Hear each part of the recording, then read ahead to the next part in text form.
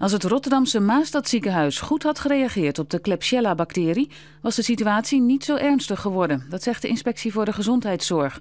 Volgens de inspectie heeft de leiding van het ziekenhuis de omvang en de ernst van de uitbraak onderschat. Onderzoek heeft uitgewezen dat door de uitbraak zeer waarschijnlijk drie patiënten zijn overleden. De gevaarlijke bacterie dook in oktober vorig jaar voor het eerst op. Pas in mei werden maatregelen genomen. De sociale werkplaats Drechtwerk in Dordrecht sluit op korte termijn een van de afdelingen, het metaalbedrijf, met 85 werknemers. Geprobeerd wordt om die elders onder te brengen. Aanleiding voor de sluiting zijn bezuinigingen, waardoor het werk voor sociale werkplaatsen afneemt. De Rotterdamse zanger Lee Towers heeft gisteren de Oeuvreprijs ontvangen voor zijn zangcarrière.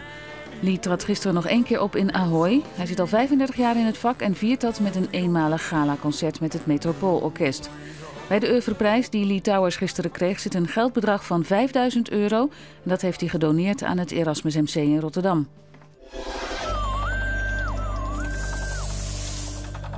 De dag begint vandaag in ieder geval bewolkt, maar in de loop van de dag komt de zon vaker tevoorschijn. Vooral vanmiddag. Temperaturen, ja, weer opvallend hoog hoor, een graad of 16. En de wind erbij die waait matig en komt uit het zuidoosten.